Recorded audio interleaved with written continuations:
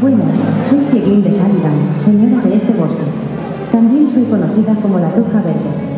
Sí, bruja, habéis oído bien, os lo contaré. En la antigüedad existía una gran cantidad de magia presente de forma natural en el aire. Aquella magia, es decir, el miasma, resultaba dañina para los humanos pero era como oxígeno para animales y plantas. Sin embargo, a medida que la humanidad evolucionaba, aquella magia se fue extinguiendo.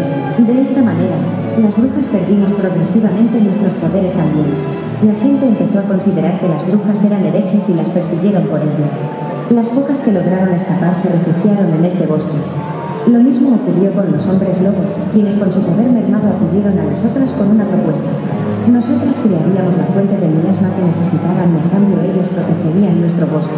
Fue entonces cuando una de las brujas hizo un pacto con los hombres lobo para que protegieran a todas sus compañeras. A cambio, ella le entregó piernas. La bruja verde y el hombre lobo sellaron el pacto hace varios siglos, y hace ya mucho que la bruja verde original murió, y su sangre se ha ido diluyendo con el tiempo. Por este motivo, a lo largo de los años, la siguiente bruja verde renunciaba a poder caminar para seguir manteniendo el pacto con los hombres lobo. Por eso apenas puedo andar ni salir de este pueblo. Pero a pesar de todo, algún día me gustaría salir y poder conocer muchas cosas nuevas. Llegado hasta aquí, pero acompañadme y podremos seguir hablando mientras tomamos un té.